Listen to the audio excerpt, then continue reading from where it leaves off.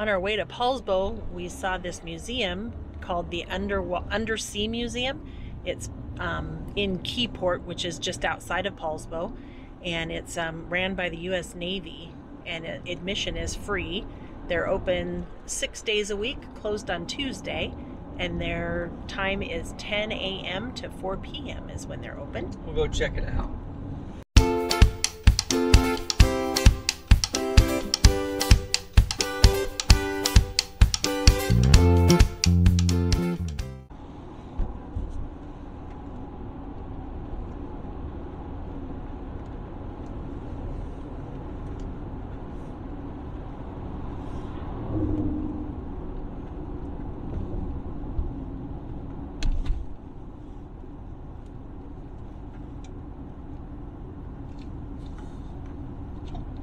Right on McKittrick Road.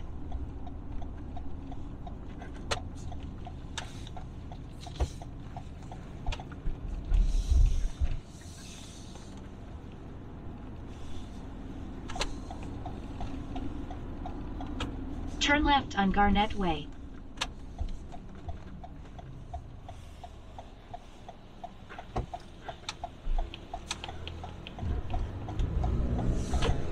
You've arrived at your destination.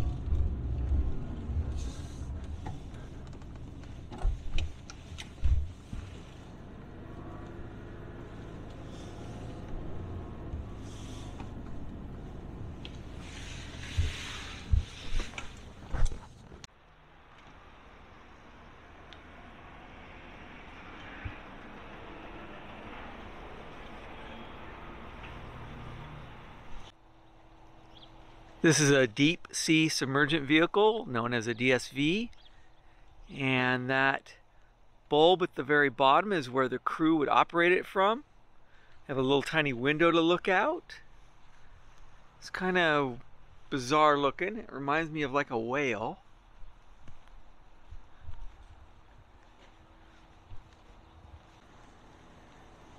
And this submarine would go out and it would investigate places where ships have went down or all kinds of things down in the deep. Its uh, deepest dive was 20,000 feet. That's incredible.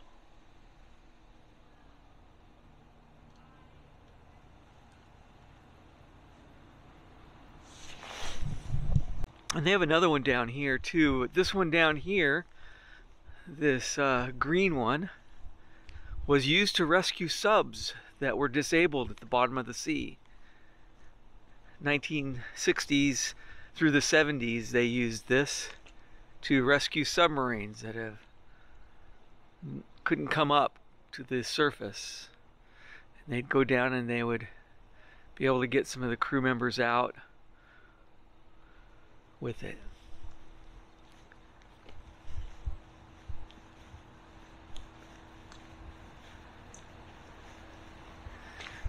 This is the Mystic. As you can see here, they would hover over the top of the disabled submarine and they would uh, connect to it some way and allow the uh, Navy men to come back up into this rescue sub through that hatch right there. Pretty amazing that they could do that. And they actually ran this from uh, 1970 to 2008. Oh, wow. I thought it was the 60s through the 70s, nope. so I misspoke. 1970 to 2008.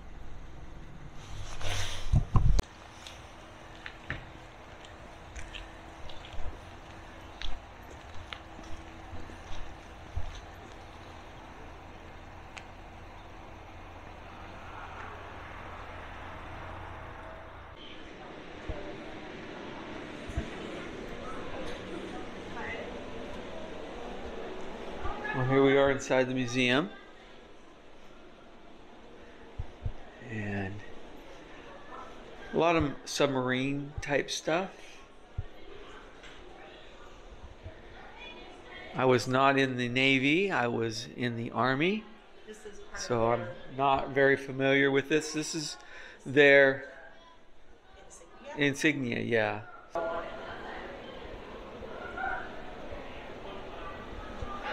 And this is for the submarines. Like I said, I was not in the Navy, I was in the Army, so a lot of this stuff I'm don't know much about.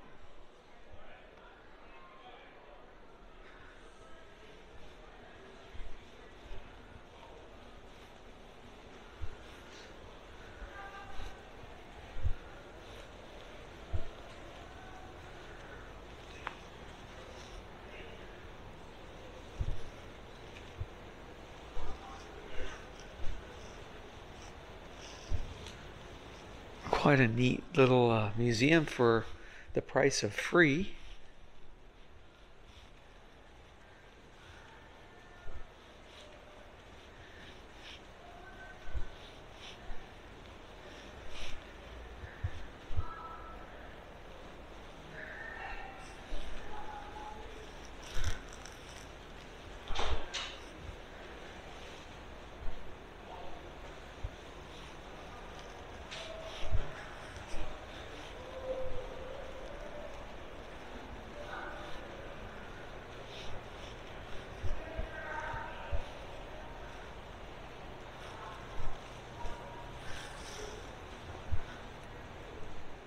We've all heard the sound of the dive, dive, dive horn. Well, this is what it really sounds like in the submarine.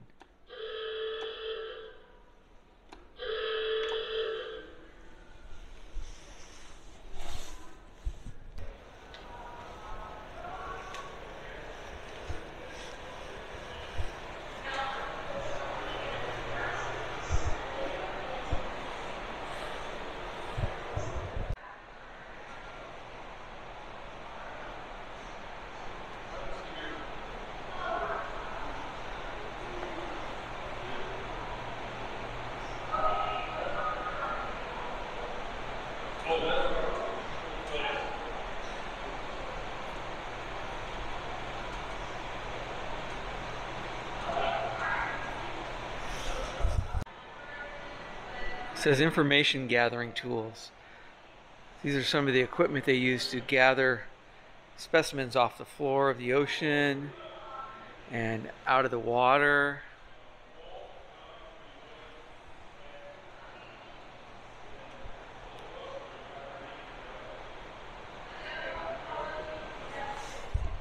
This is what pressure underwater can do to styrofoam cups at 10,000 feet. It makes them really, really small. This is what they call a spar torpedo. It's a basically a bomb on the end of a stick that they would attach to the front of a boat and then they would run the boat into others and it would blow up. As you can see, here's one here. Sorry for the reflecting light.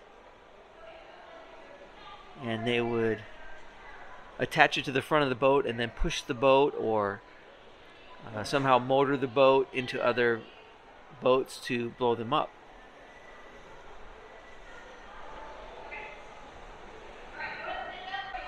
This is a floating keg mine that they used back in 1777. They would float down the rivers, and then inside them, they had a flint and a striker pin and everything needed to uh, set the gunpowder ablaze and they would just float down the river until somebody ran into them. This is what they call a frame torpedo, and they would set them below the water line. Here they are set up, getting ready to put underwater, and they would put them underneath the water, and then the ships would run into them. Back in the Civil War era,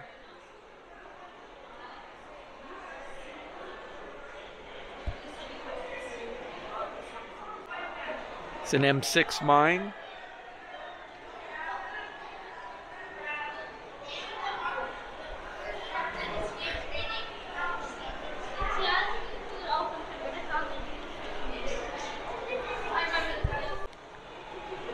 And this were, was a mine that they would drop from airplanes. The destructor mine. There they are dropping from an airplane. A6.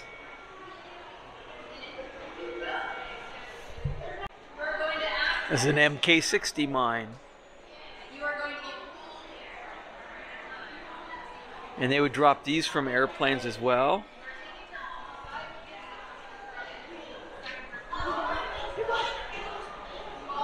Drop it down through the water to the bottom of the sea. And then it would shoot another torpedo when it senses a submarine to destroy it. Here are some more torpedoes. Today there's a busload of kids here. That's what you're hearing in the background. They're from the school.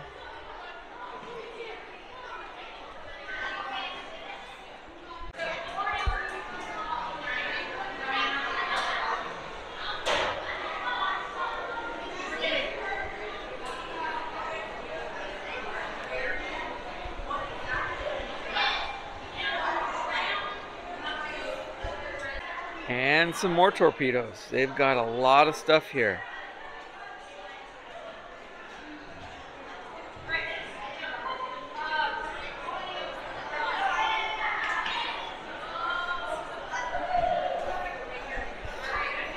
They've even got uh, the modern submarine torpedo tubes. That's what the tubes look like that they put them in.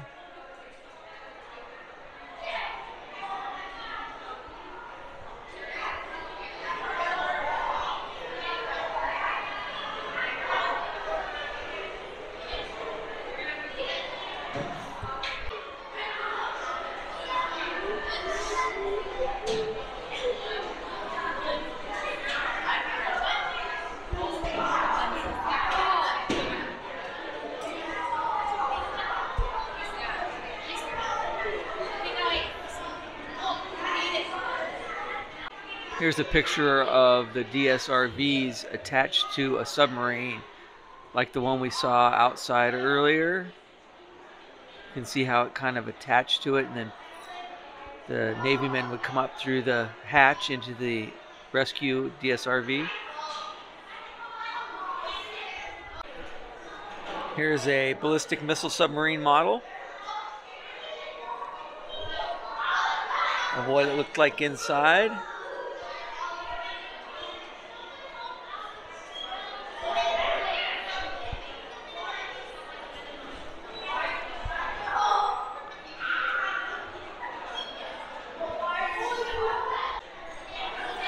They have the equipment room from the USS Greenling.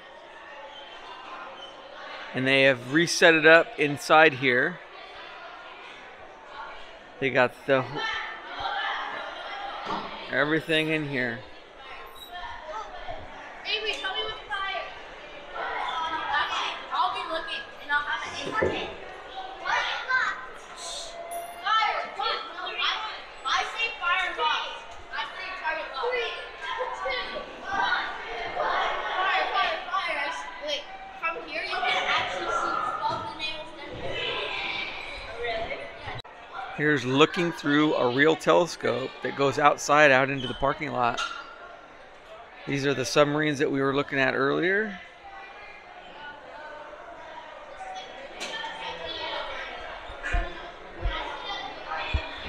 Pretty cool. So this whole section here is about animals in the Navy or used by the Navy. Marine mammal missions where they would go down and do mine detections. The dolphins would detect mark enemy mines in shallow waters. Intruder defense, they would uh, use dolphins and sea lions to protect piers, ships, and harbors by detecting enemy divers and undersea vehicles. And then uh, object recovery. Sea lions find and mark training equipment for recovery in this picture here.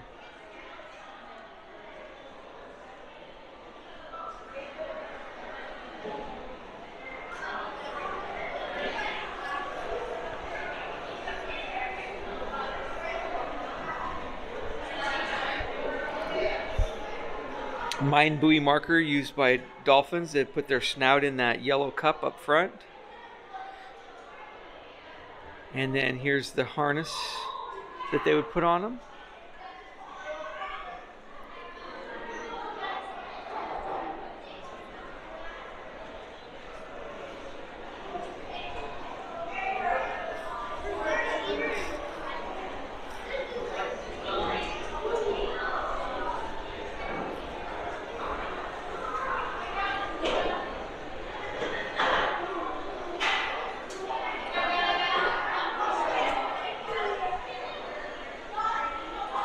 This is quite a museum. They've got everything here. I'm just showing you a very small part of it. Um, well worth your time.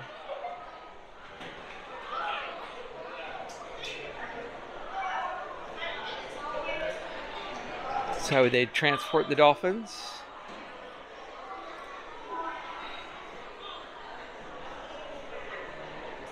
Navy, one man, one atmosphere diving system.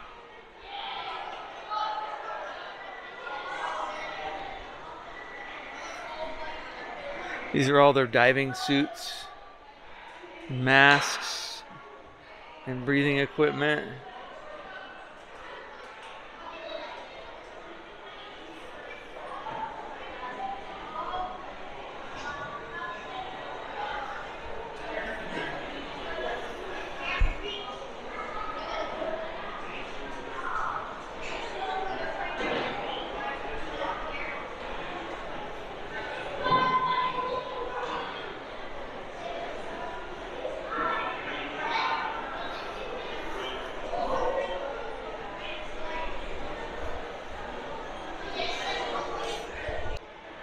Mine neutralization vehicle.